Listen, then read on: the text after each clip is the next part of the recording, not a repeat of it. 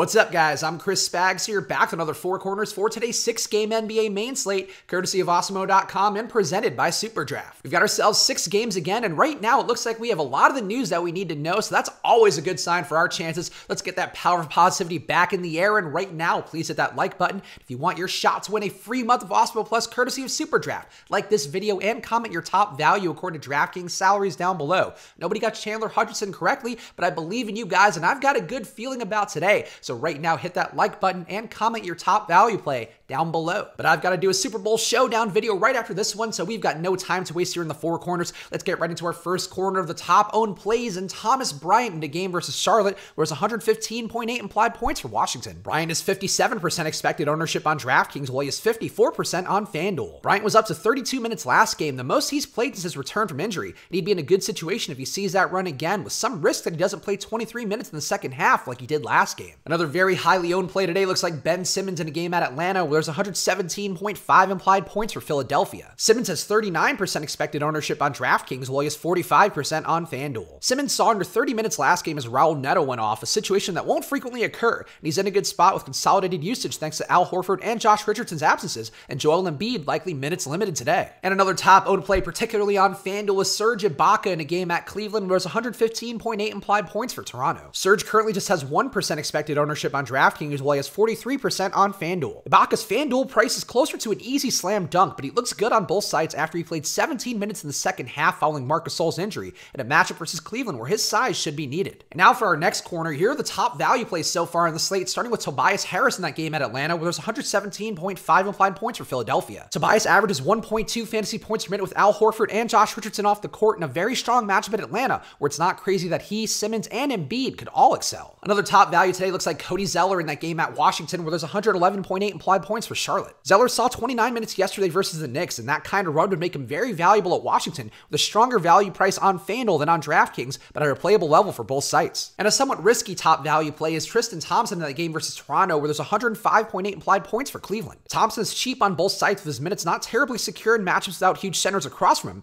but if he holds Larry Nance and his heater at bay, he looks well priced for this matchup. And now for our next corner, here are some other core plays that I'm looking at today, starting with Devonte Graham in that game at Washington, where it was 111.8 implied points for Charlotte. Graham has 47.75 and 42.5 fantasy points in his two games versus Washington this year, with reasonable prices industry wide and a lot of opportunity for assist and scoring upside against Washington's 114.4 defensive rating. And another core play for me today is Joel Embiid in that game at Atlanta, where there's 117.5 implied points for Philadelphia. Embiid played just over 26 minutes in his return to the lineup last game, and he averages around 1.6 fantasy points per minute with Al Horford and Josh Josh Richardson off the floor a game where he could have a huge day, even if he's under 30 minutes. And another core play I'm intrigued by is Kemba Walker in a game versus Golden State, where there's 117.8 implied points for Boston. Kemba is still priced fairly even with Jayson Tatum in the lineup, and while Tatum will take some usage off the table, Kemba still averages just under 1.3 fantasy points per minute with Tatum on the floor, with a weak Golden State defense on the other side. And now for our last corner, here are the lower owned dart throws that I find the most appealing so far, with D'Angelo Russell in that game at Boston, where there's 104.8 implied points for Golden State. Russell has over 50 fantasy points in four out of his last five games and has a 32%